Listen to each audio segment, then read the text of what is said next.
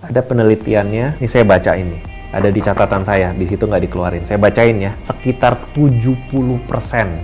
70% plus plus ya. Bisa 72 bisa 78 beda-beda. Angkanya tergantung perhitungannya. 70% reuni balikan itu jadi bertahan kalau mereka menikah. Kalau jaraknya jauh ya. Pernikahan normal ya. Pernikahan normal yang kayak menikahi seseorang tanpa balikan sama mantan ya. Menikahi seseorang itu sekitar 40 sampai 50% bakal cerai ya kan 40 50% jadi sekitar 50% bertahan, 50%-nya lagi cerai.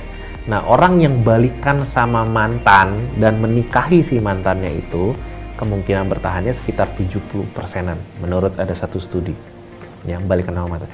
Tapi jarak balikannya mesti jauh.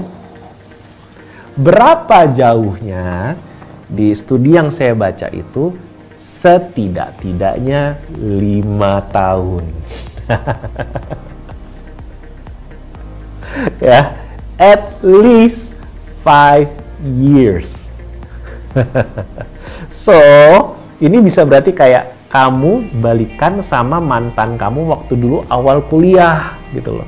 Atau balikan sama mantan yang dulu waktu zaman sekolah atau balikan sama dulu temen uh, di kantor yang lima tahun yang lalu jadi kayak first love-nya kamu siapa mungkin lima tahun yang lalu itu nah kalau balikan sama yang kayak gitu, mungkin akan lebih tangguh dan kuat. Ya. Tapi jaraknya berapa?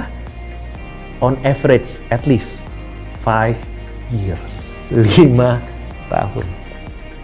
Kenapa lima tahun itu penting? Karena dalam lima tahun itu sudah banyak perubahan. Orangnya jadi lebih dewasa, orangnya lebih berprestasi, orangnya lebih bijak.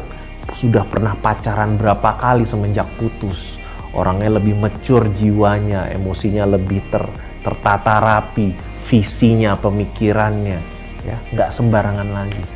Jadi kalau balikan dalam hitungan bulan, ya Tuhan, hitungan tiga hari putus terus balikan lagi, ya Tuhan, itu anak SD, ya.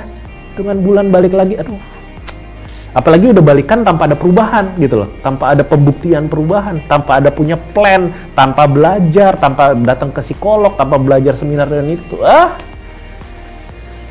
ah itu namanya cari penyakit ya kalau Anda suka dengan pelajaran hari ini, jangan lupa untuk subscribe, share, dan like video ini. Dan kalau ada pertanyaan juga bisa klik di komentar di bawah ini, tulis pertanyaan karena nanti saya akan jawab, akan ada tim saya akan jawab juga, dan jangan sampai ketinggalan video-video yang berikutnya. Oke? Sampai jumpa.